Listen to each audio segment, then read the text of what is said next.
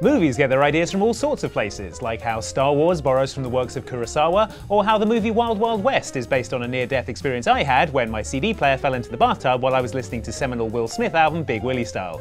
You prove it's not. With all this creative cross-pollination happening in Hollywood, it's probably only fair that video games are ripping off movies with the kind of shameless abandon of a kid borrowing someone else's homework four minutes before it's due to be handed in. At least that's how I understand the legal concept of fair use, so let's take a look at these following things that video games just straight up stole from movies. Allegedly. Here she is. Willamette, Colorado. Population 53,594. Distinguishing characteristics? Jack shit.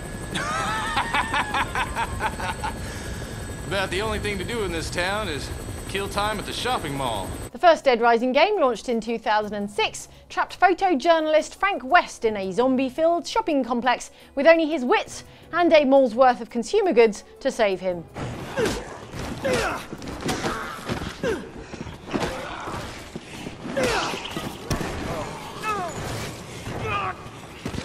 It's an arresting premise for a game that combines both our daydream of surviving a zombie apocalypse and our daydream of running riot in a shopping mall, doing whatever we want without being pursued by a huffy security guard. It's also uncannily similar to George A. Romero's classic zombie movie, Dawn of the Dead. Now, the Night of the Living Dead series of zombie films has, like Luge at the Winter Olympics, been going downhill since the 1960s. But in the early days, these zombie movies successfully layered gross zombie horror with social commentary, such as in Romero's 1978 gruesome and satirical Dawn of the Dead. So, Dawn of the Dead is a film about zombies set in an American shopping mall. Dead Rising is a game about zombies set in an American shopping mall. Did you spot the similarity? The similarity certainly didn't escape the notice of the company with ownership of Dawn of the Dead, which was of the opinion that Dead Rising had ripped off the movie and threatened to sue Dead Rising publisher Capcom back in 2008. The suit was eventually settled in favour of Capcom when it was deemed Dead Rising had none of the social commentary that distinguishes Dawn of the Dead. When the zombies everyone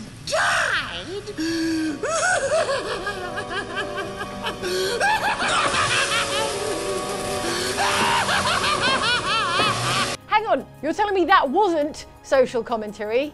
Well, alright, you're the presiding judge on this lawsuit.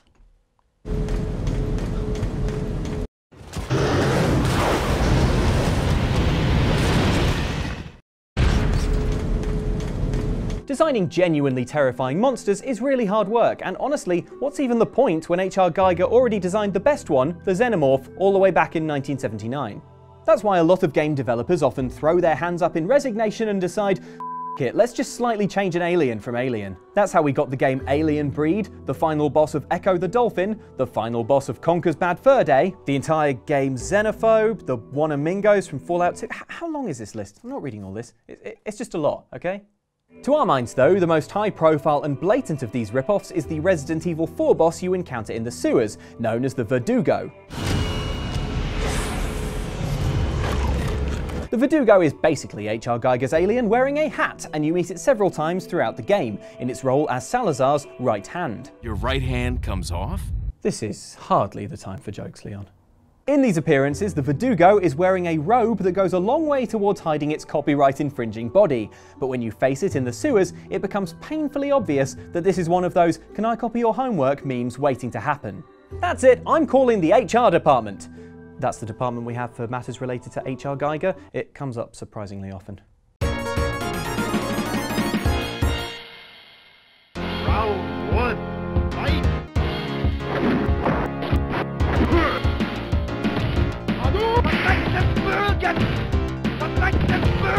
Ask anyone who's seen an actual street fight and they'll tell you they aren't usually colourful exotic affairs. Well, it's only one colour, red, and it's a nightmare to get out of your karate gi, let me tell you. Not so the street fighting seen in Street Fighter II The World Warrior, in which your chosen street fighter jets around the world to challenge mystic Indian yogis, Brazilian jungle men, Russian bear wrestlers, and Val Kilmer from Top Gun.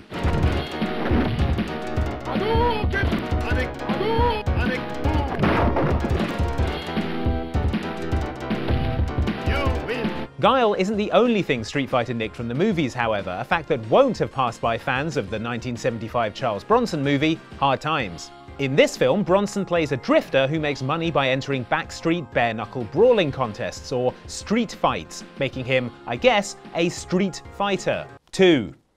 The World Warrior. A closer inspection of some of the locations these fights take place in, though, reveals undeniable inspiration for both Zangief's stage and Ken's stage when Bronson fights an opponent on the docks. Talking to Capcom, Street Fighter artist Akira Akiman Yasuda even admitted to what he called open plagiarism, which was apparently fine back then because video games were a niche concern that didn't make anyone any money. Street Fighter made $10 billion. Was that more or less than Hard Times took at the box office? Wait, don't tell me, I'll look it up later. Round one,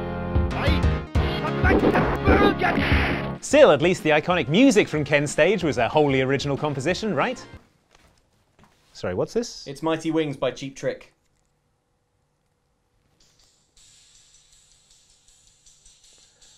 Oh my god.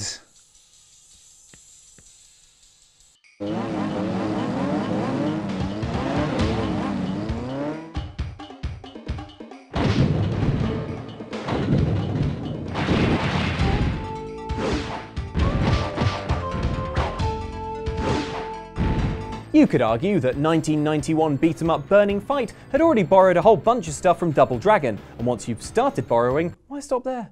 And before you give me the whole maybe it's a coincidence thing, one of the player characters is literally a blonde guy called Billy, just like in Double Dragon. Either it's a total rip-off or there was some sort of character name shortage in the early 90s. But hey, it must be difficult coming up with three whole unique playable characters. And that's why one of the other characters looks almost identical to Guy from Final Fight.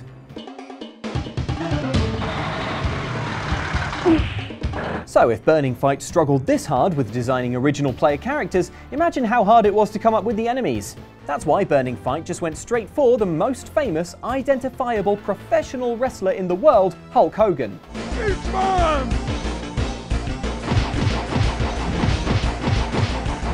Ah, if only you'd gone for Honky Tonk Man, you might have gotten away with it. Alright, technically Hulk Hogan is a wrestler and wrestling is on television, but he had a movie career too. Who could forget such cinematic classics as Suburban Commando, Mr. Nanny, and Santa with Muscles? Look, we didn't specify that they had to be good movies. And what have they named this beautiful, totally unique, legally distinct creation? Bulk Brogan? The Sulkster? Nope, it's Tom Anderson. Whoa, maybe there really was a character name shortage.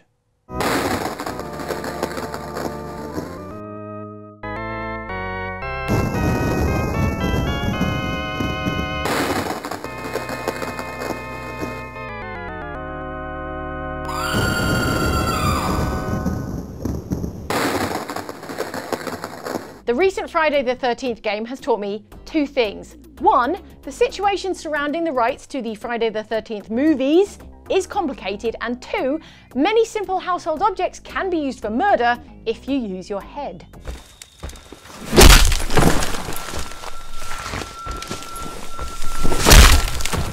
Point is that the rights to Friday the 13th are complicated, as evidenced by how this Friday the 13th game won't be getting any new content released for it ever, thanks to a tangled legal situation over who owns the rights to Jason Voorhees striding around the place in a boiler suit and hockey mask, slicing up camp counselors with a machete.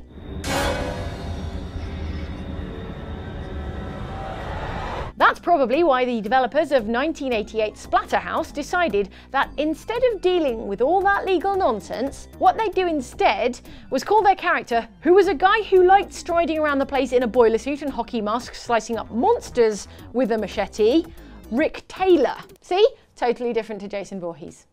Despite being a pretty bland beat 'em up and featuring a boss fight against a chair, Splatterhouse proved popular enough to warrant two sequels and a 2010 reboot, all of which switched the mask design to be a lot more skull-like because yes, that makes it better. Look at this guy. No way anyone's mistaking him for Jason Voorhees. You're mine.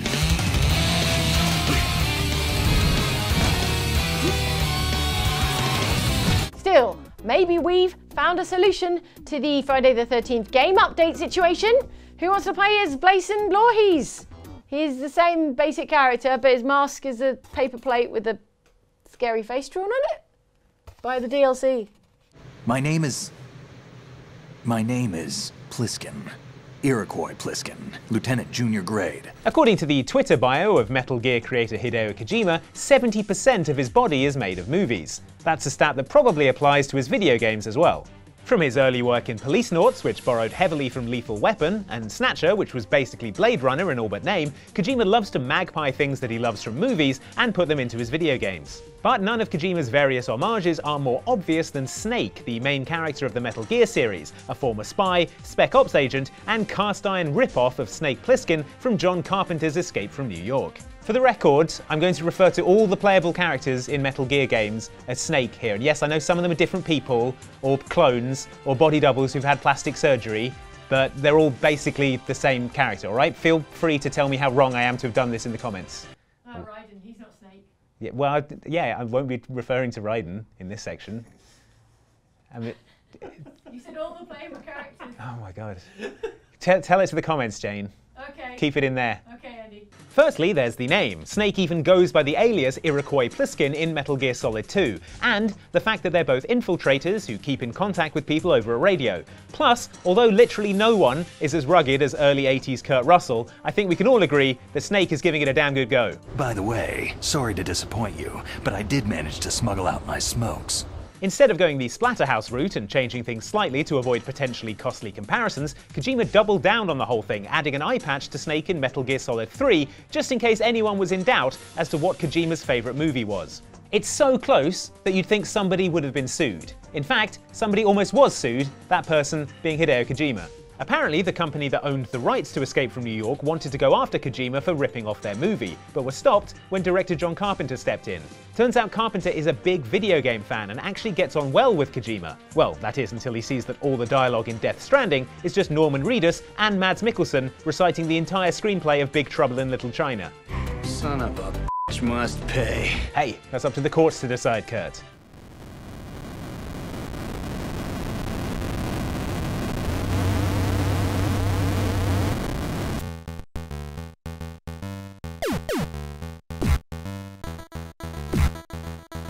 Teenage Mutant Ninja Turtles is the story of four human sized turtles who live in the sewer, eat pizza, and their dad is a rat. Yet somehow, this sewer pizza nightmare went from obscure comic book to legit cultural phenomenon in the late 80s and early 90s. The adventures of ninjas Leonardo, Raphael, Donatello, and Michelangelo were turned into cartoons, movies, toys, and video games, teaching children the merits of honor, discipline, and diverse merchandising strands. Prepare to die.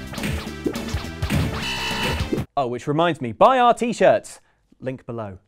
Obviously, the rampant success of Turtles and its associated merch caught the eye of game developers like Rare, who scrambled to come up with muscular, wisecracking anthropomorphic creatures of their own, which is how we ended up with Battletoads. Exactly like the Turtles, the Battletoads were lean, green fighting machines, only instead of being named after the Renaissance's finest artists, they were named after skin conditions. Way to set the tone, guys. Like most hasty cash ins, Battletoads ended up being quite bad and included the legendarily unfair Turbo Tunnel section, which was the leading cause of snapped controllers in the early 1990s. Okay. Oh, come on! I did the jump! Somehow, though, the Toads returned for a further four games, and there's apparently an upcoming one still in development for Xbox One, proving that there's still an appetite for TMNT knockoffs. Which is great news for my original franchise, the Toxic Tweenage Samurai Terrapins. Right, still available, incredibly.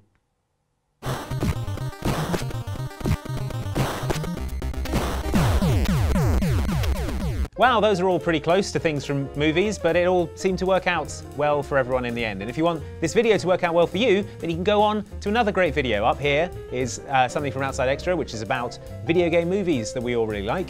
Down here is a video from us, which is one of our Hitman Let's Plays. If you've not seen any of those, they're great fun, you should check them out. And I am going to check out the new episode of the Toxic Teenage Samurai Terrapins. What a great franchise. Do invest.